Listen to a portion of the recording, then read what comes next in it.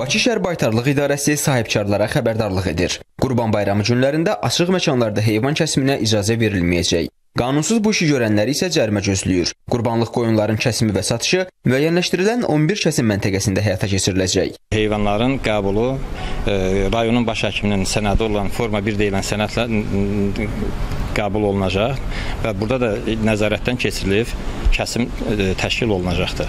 Küçələrdə, ağacların dibində qeyri kəsim yerlərində kəsmək qadağandır. Elə hallar olsa sahibkarlara 300 manat cərimə, əgər şi- şirkətdirsə ba- başqa onlara 700 manata qədər cərimə gözlənilir. Bayram ərəfəsində qurbanlıq heyvanların satışı üçün sahibkarlara heç bir məhdudiyyət qoyulmur. Yetər ki, heyvanın sağlamlığı barədə baytarlıq sənədi qaydasında olsun.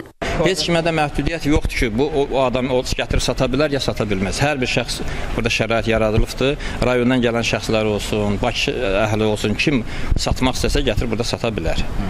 Və alıcılar da gəlib buradan e, həkim müayinəsinə olandan sonra, müayinədən keçəndən sonra sağlam ala bilər heyvanları. Qurbanlıq heyvan kimi erkək qoç, dana və dəvə kəsilə bilər. Qəssablar deyir ki, heyvanı seçərkən alıcılar bir neçə məqama diqqət etməlidir. xəstə, buynuzu qırıq, dəli mal olmamalıdır ki, heyvan hiss eləyir ki, bu kəsimə gedir də. Ona görə heyvan bilməməlidir və illah ki, heyvan kəskiyə gələndə gözləri bağlanmalıdır.